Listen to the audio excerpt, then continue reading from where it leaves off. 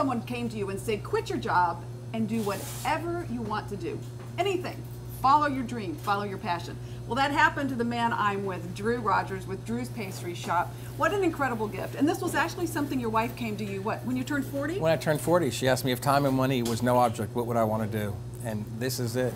And uh, it's been a dream come true for me. Well, and an incredibly successful one, too. You've been on TLC. Correct, the bakery boss. And uh, ever since then, it's been more of a ride, which has been great, fantastic. Well, and, and the pastries are incredible. I should say, Drew Thank is you. Italian, and the first I fell in love with what you do was the cannoli. I took him on a TV segment and took a bite of one to taste it, and it blew me away. It was so authentic.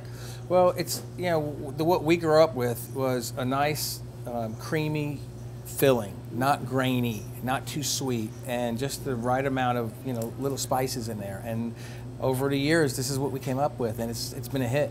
Well, and when you buy a cannoli here at Drew's, they fill it to order, so you're not buying one that's been sitting there for an hour, or two hours, or whatever. That's right. They're fresh from the start. Now, you took the passion for the cannoli one step further with the cannoli cupcakes. Yes, we, we do a cannoli cupcake now, and we fill it on the inside with simple syrup, and then also with the cannoli filling, and then on top we put the cannoli filling and chocolate chips and the shells of the cannolis. And So worth it.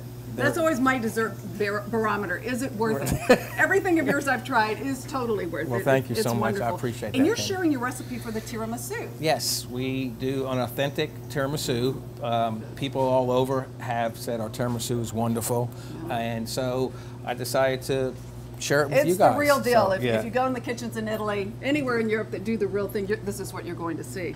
Okay. So this is a small batch that people can make at home, Right. and we have six egg yolks, and then we have six ounces of sugar. So however many egg yolks you have, that's how many ounces of sugar you So put in. even- okay. And then a pound of mascarpone cheese. Right. And then I put in um, vanilla bean paste. You can use vanilla extract if, if you're home like that, but I like the vanilla bean paste because of the little pieces of vanilla that are in there.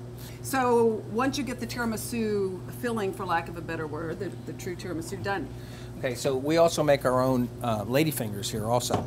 And what we do is we put them in cups like this so people can take it to go.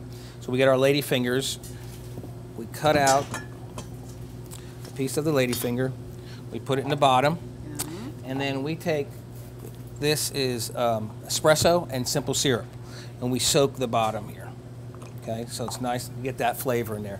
You take the, the tiramisu, uh-huh. And we just pipe it all the way in there about halfway because then we're going to come back and put another layer of ladyfinger and then we'll do the same thing here.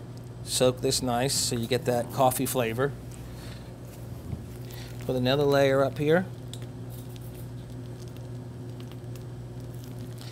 And the good stuff. th- yep and then we will powder it with cocoa, Cocoa powder, powder, and- and and then you have it right there It's, wonderful. wonderful It, it, again, it is so worth your time to come here. You'll leave with boxes of goodies. It's it's it's all worth it. Well, thank you so much. I appreciate Drew, it. Uh, thank you.